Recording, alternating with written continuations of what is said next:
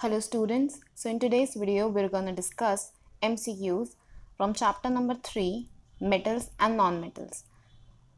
These MCQs are very important for your exam purposes. So let's start with question number 11 as we have already discussed till question number 10 in previous video. Metals can be beaten into thin sheet. This quality of metal is called option A malleability, option B ductility, option C sonorous, option D brittleness. So the answer is option number A malleability.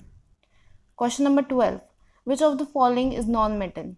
Option A sodium, option B potassium, option C lithium, option D bromine. The answer would be D bromine. Question number 13. Non-metals which is liquid at room temperature.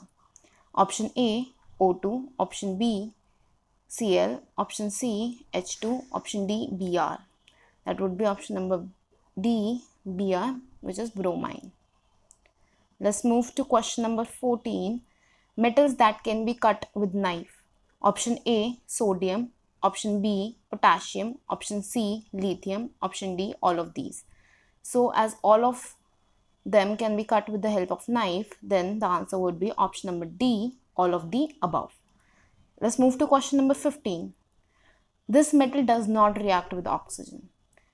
Option number A, magnesium. Option number B, sodium. Option number C, potassium. Option number D, gold. That would be option number D, gold, which is AU. Let's move to question number 16. Which metal is most reactive of the following? Option A, aluminium. Option B, Fe, which is iron. C, the lead option number D is copper. So the answer is option A aluminium. Let's move to question number 17. School bell is made of metal. Why? Due to which quality of metal? Option A sonorous. Option B ductility. Option C hard. Option D good conductor.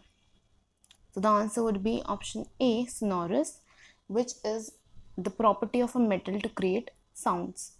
Let's move to question number 18. Which ions metal make?